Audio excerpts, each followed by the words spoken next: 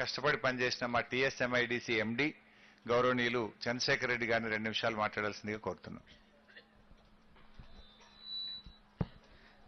సభకు నమస్కారం.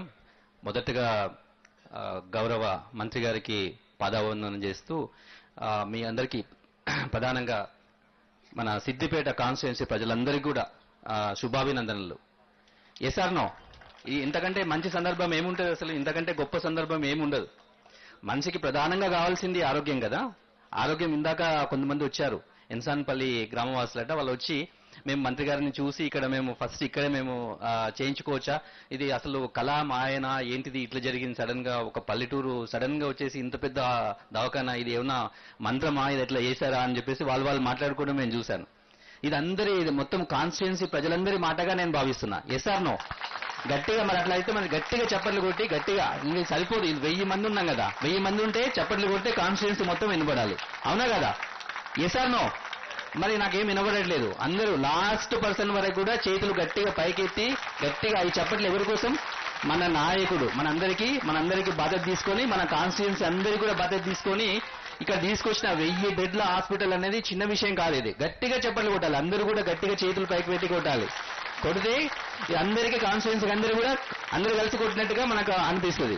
సో దీంట్లో అన్ని సూపర్ స్పెషాలిటీస్ ఉంటాయి. ఐసీయూలు ఉంటాయి. మనం ఏవైతే కలగంటామో ఏదైనా చిన్నగా ఏమైనా ఇబ్బంది వస్తే మనం ఎక్కడ పోతాం?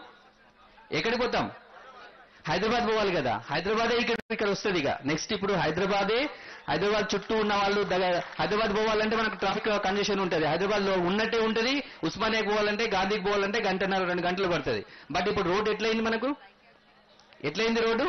అద్దం లాగా అయింది కదా.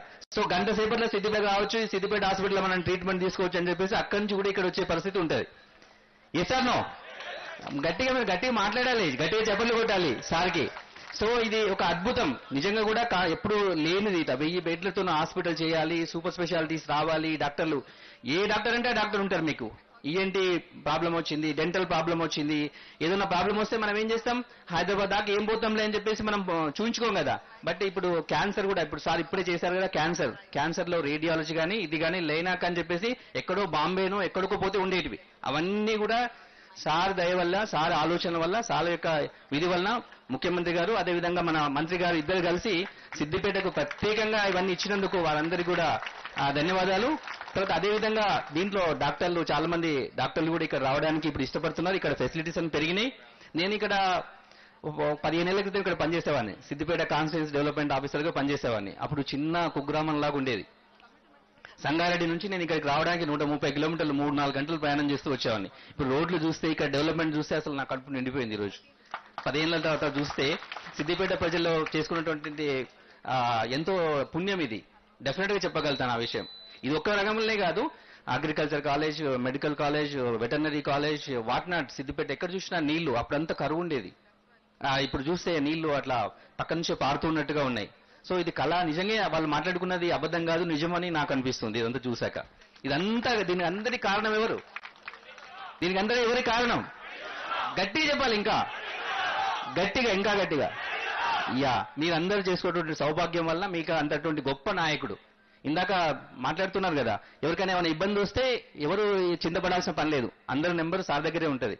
నేను ఆ రోజుల్లో చూసేవాడిని. ఇక్కడ నేను కాన్స్టిట్యూన్స్ డెవలప్మెంట్ ఆఫీసర్గా పనిచేశాను sir two thousand nine ten eleven.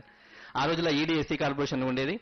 అప్పుడు నేను చూసేని చూశాను. ఊర్లలో కూడా పోయేది మేము అప్పుడు తెలంగాణ ఉద్యమం అప్పుడు చాలా బాగా నడుస్తుండే.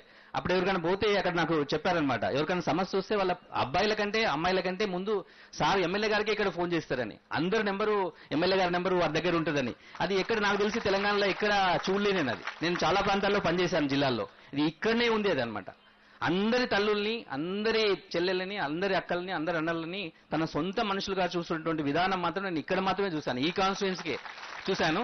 ఆ గొప్పతనం నేను చాలా గొప్పగా గర్వంగా కూడా చెప్పగలుగుతాను. ఆ తెలంగాణ ఎస్పెషల్లీ సిద్దిపేట ప్రజలు నోచుకున్నటువంటి గొప్ప అవకాశం అని చెప్పేసి మరోసారి గట్టిగా వారికి చప్పట్లు కొట్టండి. అదేవిధంగా ఇక్కడ పనిచేస్తున్న డాక్టర్లు ఇక్కడ విమలా థామస్ గారు ఇక్కడ పనిచేస్తున్నారు. ఆమె కూడా బాగా చాలా చాకచక్యం ఉంది. అదేవిధంగా చాలా తెలివి ఉంది. మంచి డాక్టర్ ఆమె. అందరినీ సమన్వయం చేయగలుగుతుంది. రాబోయే ఒక ఆరు నెలలు కష్టపడాలి మనం. ఇప్పుడు ఇవన్నీ సూపర్ స్పెషాలిటీస్ అన్ని కూడా ఏర్పడడం అనేది ఇంకొక క్రమంగా జరుగుతూ ఉంటుంది. ఇవన్నీ ఎస్టాబ్లిష్ అయి పూర్తి స్థాయిలో హాస్పిటల్గా రన్ కావడానికి ఆ డిసెంబర్ జనవరి దాకా మనం ఇంకా ఇట్లా కష్టపడాలి కాబట్టి గట్టిగా వారు కూడా ఒకసారి చెప్పలు కొడదామా? వారందరి ఆమెకే కాదు ఆమెతో పాటు మొత్తం డాక్టర్లు అందరూ కూడా డాక్టర్లు. దాదాపు ఒక వెయ్యి మంది డాక్టర్లు ఇక్కడ చదువుకుంటున్నారు. తెల్లకోట్లు వేసుకొని ఇప్పటి నుంచి ఇక్కడ ఊర్లో తిరుగుతుంటే ఎంత గొప్పగా ఉంటుంది? వెయ్యి మంది దాదాపు డాక్టర్లు పీజీలు తర్వాత డాక్టర్లు ఇంటర్నీస్ సీనియర్ రెసిడెంట్స్. అసలు ఇంక మనకు సమస్యనే ఉండదు. ఆరోగ్యానికి సంబంధించి సమస్యనే ఉండదు. ఏ సార్ నో గట్టిగా చెప్పాలి. ఏ thank you so much thank you so much మంచిగా ఉంది కదా స్పీచ్ గమ్మత్తుగా ఉంది. గౌరవనీయులు